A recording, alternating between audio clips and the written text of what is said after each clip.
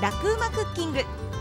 今日は広島市中区八丁堀の料理教室ストゥディオグリオットを拠点に家庭でできる最新のフランス料理からスイーツまで幅広く伝えるフレンチの伝道師山本京子さんの登場です。山本さんよろしくお願いします、はい、よろしくお願いします。さあ今週は、はい、旬の夏野菜レシピというテーマでお送りしています、はい、今日はこちらを作ります、野菜ヌードルのアジア風冷製スープ仕立て、ということで、ヌードルが、麺が野菜でできているそうです。はい。なんか練り込んでる野菜じゃなくて、本当にフレッシュの野菜を麺状にしてるんです。もうなので野菜をたくさん食べたい。ちょっとカロリーが気になるという方にはね、はい、ぴったりですよね。はい。今日はヘルシーですよ。はい、さあそれでは早速クッキングスタートです、はいまあ夏野菜ということで、やっぱり代表的なのはズッキーニですよね。そうですね。ズッキーニってこう煮たり焼いたりして食べるんですけどもね。うん、はい。はい。さあ今日このズッキーニを麺にしていきます。はい。はい、まあそういう麺まあ千切りにすればいいんですけども、うん、最近こういうあの専用のカッターがあるんですよ。はい。はい、ヌードルカッターというものですね。もうこれなんかすごく反響がよくって、品不足って言ってましたけど、こう差し込んで、ただこう回すだけなぐるぐるぐる。はい。はい、ちょっと。あ麺になってきましたね。うわ、はい、そうそうこんな風に。ちょっともう、はい、変わってもらっていいですか？疲れたんですね。さっきからちょっとやりすぎで。ちょっとこうね押しながらですから、力がいる感じにはあります、はい、ね、はい。でもね本当にねこのそうですよ。これあの麺状にこう切れることによってね。はい。野菜がねこうぱい食べれるので、はい、すごくヘルシーで。これ今いろんなところでね、はい、売ってるそうですね。そうなんですよ。いろんなところでね、あの売ってるんですけど、本当今人気で品薄らしいので、うん、いくらぐらいするものなんですか？大体ね、二千円ちょっとですね。はい。これ野菜の本当にいっぱい食べれるってとこが、もうやりがいがあるというか、ね。なんか真ん中ににょろっとしたものが出てきますね。そこはね 芯芯ななんですけど、あそれを中心にこう切れていくんですよね。なるほど。でも、まあ、芯はどうすればいいんですか？もう本当スープにしたり、そのままスティックサラダとして食べてもいいんじゃないですか。スティックサラダになりますね。なりますよね。おお。はいはいはい。もうそうですね。こういうふうにあのね、はい、今グリーンのスキンですけど黄色もあります。うん、あ黄色のズッキーニとこれね、緑のズッキーニですかね、はい、こんなもんですかね。はい。あもう十分で十分です、はい、ありがとうございます。はい。い。いはい、はい、こんな風にほらヌードル系になってきてますね、うん、麺になってますね。はい、はい、さあこれを合わせていきます。今日は黄色のズッキーニと人参ですね。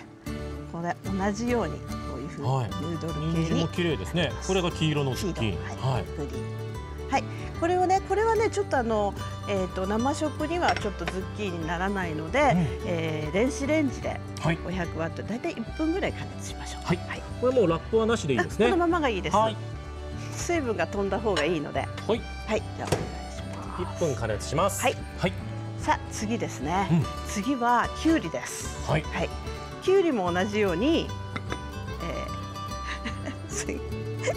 そういうまた違うものを持ってきたんですけど。これもヌードル そうなんですよ、はい、でこれでぐっともう本当昔の鉛筆削りのような感じで削っていくだけなんです。はあ。面白い。ね。よいしょ。これも。うん疲れたんですね。はいわかりました。ほうほうほうほう。まあ、これなんかはまってないのかな？そうなんかねちょっとギュッといってください。まあでもこういうねあの専用のカッターがなければ。詰まってますね。え？芯がですか、うん、ギュッと。ギュッと。なんか詰まってますね。あれ？やり直した方がいい？なんかこうここは詰まってる感じじゃこれを差し出してください、これスティックサラダこれもう一回グッてやればいいですね、はい、スティックサラダ、はい、いきます。あこれでもなってる。あ。はい。あ。はい。あ そういう時には包丁で千切りしてもらっても大丈夫です。そうですね。はい、きゅうりが折れましたね。はい。はい。今日ね、時間がないんですよ。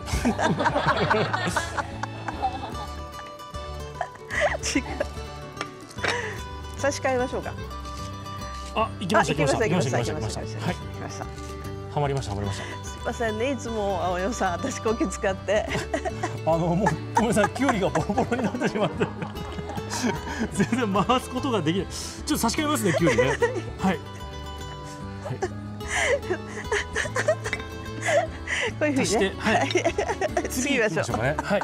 きゅうりがちょっと少なくなりましたけど。はい、はい、えー、大根とはいえすみませんありがとうございます、大根の方もこの専用のカッターでしているのでこうヌードル状になってます、はい、ヌードル状になっています、ね、はい、えっ、ー、とレッドオニオンの方はちょっとね無理なのであの包丁で薄くスライスしてあります。はい、これは普通の玉ねぎスライスですね。まあ水にさらしといてください。はい。だからこれは生生野菜。生野菜、こっちは生で食べる、はい、ですね。それで、はい、えっと電子レンジの方がちょっと加熱したものです。はい、加熱終わりました。はい、あまり強く加熱しないで本当にしんなりなるようでいいです。はい。ね、しんなりなってます。あ、なってますね。はい、はい、大丈夫です。はい。はい、そしてスープですね。今日はアジアン風ということで、うん、えー、ココナッツミルクを使います。はい。これ200ミリリットル。それでその中に溶いたチキンスープを合わせていきます。同量です。チキンスープこれはもうチキンブイヨンを溶かしたものでそうですそうです、はい、はい、少し味もついてますのでね。はい。でいいと思いますでこれで味付けなんですけども、うん、今日はあのお醤油じゃなくこのナンプラーっていうものを大さじに入れます、はい、大さじ、ナンプラー今どこでも売ってます、ね、そうですね。小さい瓶で買いやすくなってるのでうん、でね、あの夏のサラダにはちょっとぴったしですよ、はい、一瓶用意してください。それからお砂糖です。お砂糖これ入れて混ぜていきます。はい。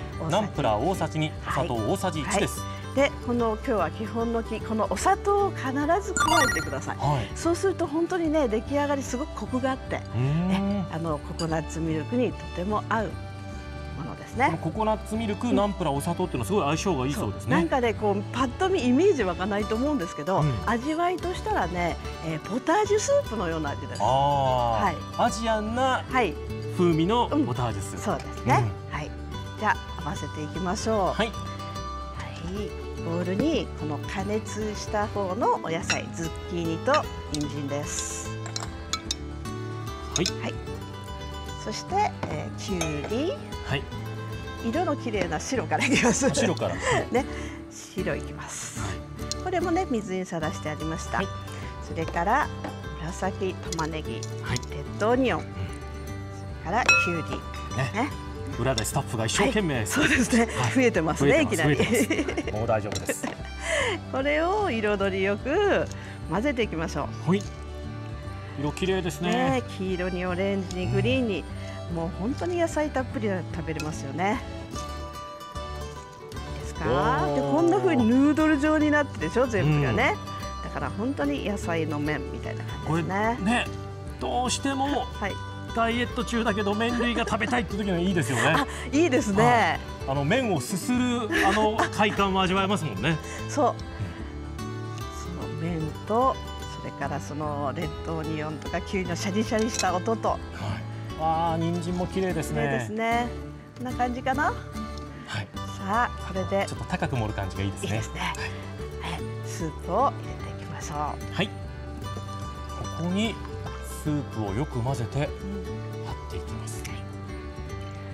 たっぷりですね。え、そうですね。うん、本当に麺の冷麺のような 感じになって冷たいポタージュとしてね、はい、そうですね。その感覚で飲んでみるわけですね、はい、じゃあそれで今日はトッピングをコリアンダーにしました。もしなければイタリアンパセリでもいいですね、はい、でもっとアジアンっぽくするところ松の実も散らしてみましょうか。おおしゃれ、ね、それであのココナッツミルクすごくコクがあって美味しいんですけど、ちょっとアクセントにこのチリペッパーを。ああこれもまたアジアンな感じがしますね、ね、かけましょう。はいはい。こちらで野菜ヌードルのアジア風冷製スープ仕立て、完成です、はい、今日の材料はご覧のようになっています。ポイントです。野菜を薄切りの麺状にすることで麺の代用になります。とってもヘルシーです。そしてココナッツミルクでココナッツミルクとチキンスープでアジア風に仕立てました味付けにはナンプラーと砂糖を使ってコクを出しています、この砂糖を加えることでバランスも取れてコクが出るということです。さあそれでは潜水さん、はい、どうぞお召し上がりください。はいいただきます。すっごくカラフルなんですね、うん、えー、麺類好きですか？大好きです。カロリー気にしてますか？うん気にしたいところです。ね ぴったりですよこれは、いただきます、はい、長いでしょちゃんと。うん、うん、面白い。本当だ。面白いですよね食感が楽しい。うん。うん。しかもこのソースがやっぱりスープですね、スープですね。美味しい、うん、ちょっと冷たいポタージュのようね、うん、アジアンテイストだけど全然あの癖が強くないですね、はいうん、そうですね。食べやすいです。非常に飲みやすいですよね、はい夏にぴったり。本当、ね、皆さんも、はい、あのサラダ感覚で野菜をもりもり食べられますんでね、はい、ぜひ参考にしてみてください。冷たくして食べてください。そうですね。はい。山本さんどうもありがとうございました。ありがとうございました。さあ明日はアイデア料理の川添さんに夏野菜の甘味噌炒めを教えてもらいますこちらもお楽しみに